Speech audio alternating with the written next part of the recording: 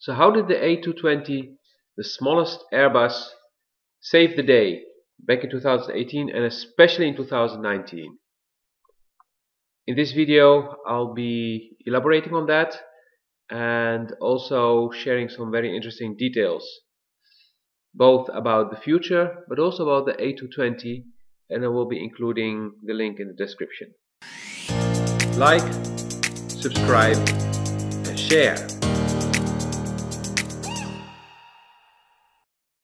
You may not have noticed this, but the A220 actually has been steadily growing and becoming more mature since it joined Airbus.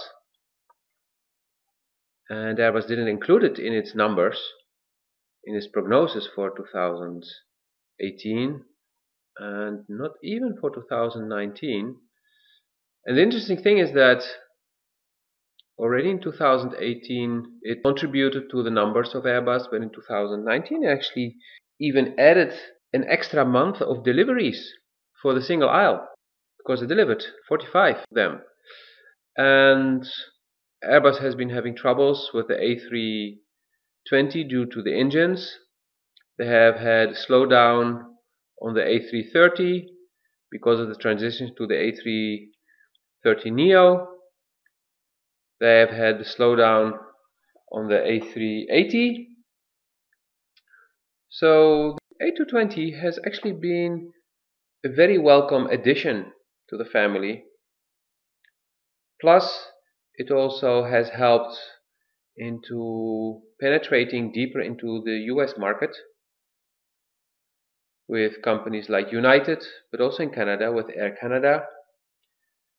And solidifying Airbus's position in the Americas. Also, already Airbus can see the benefits of having acquired it, while Boeing is still in the process of acquiring Embraer. It was a very good move.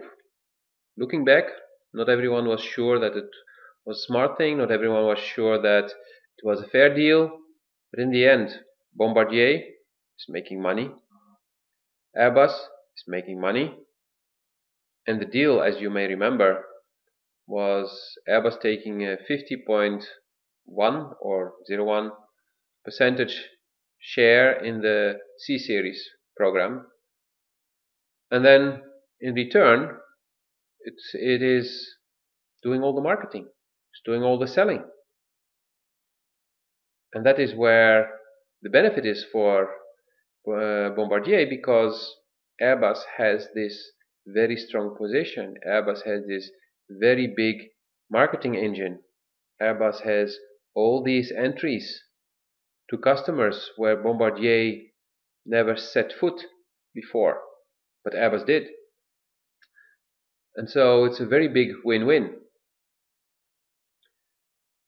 So I'm curious to see where this will lead and if there will be larger variant that will actually start to compete with the current A320 Neo. It will all depend on the market. It will depend also on what Boeing will do. So what we could see is that there will be the larger version which Air France indicated it was interested in to actually cover a segment of the market where now the A320 is used, the A319, but the A220 would actually be more efficient. It's a smaller aircraft, it's more fuel efficient, it's lighter, and you do not need all that cargo capacity on all the routes.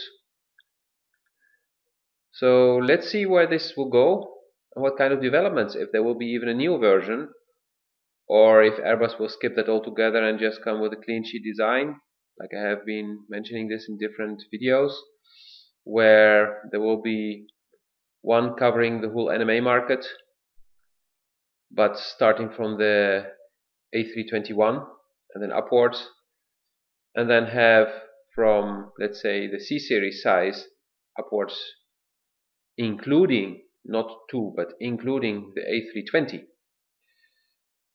and then have two aircraft that have a lot of systems in common, so it's very easy for pilots to transition from variant, one variant to the other.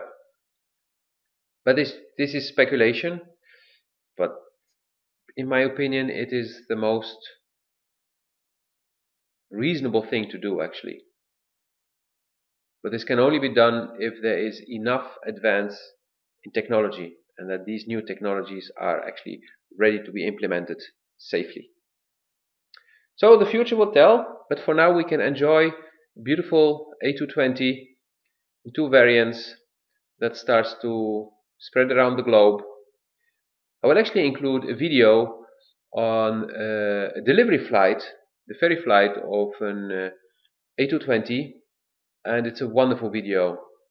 It's a two hour video so it may seem long but they cut out a lot because about the whole preparation of the flight and then the whole flight from start to landing uh, which is a eight or nine hour flight and it's really beautiful. Uh, the pilots on board are very experienced. They're both captains and they're sharing a lot of information a lot of details and they're demonstrating different things so if you're really into aviation if you're really into piloting it's it's the perfect video. So I was not sure I would be watching the full two hours. I believe I skipped forward once only a few minutes and then I realized yeah I mean they already compressed everything so much. Uh, it's really worth it. So if you want to know more about the A220 that's the video to watch. I mean I've showed you here in this video how it's being built and some things but they go like deeply in details on specifications capabilities systems uh, but not the boring part actually the interesting and the fun part so enjoy that. I'll see you in the next video. If you dislike the video, you do this. If you liked it, thumbs up, share and subscribe. Also, check out my Patreon page. There you can support me and get access to exclusive content. Get more. Check it out in the link below.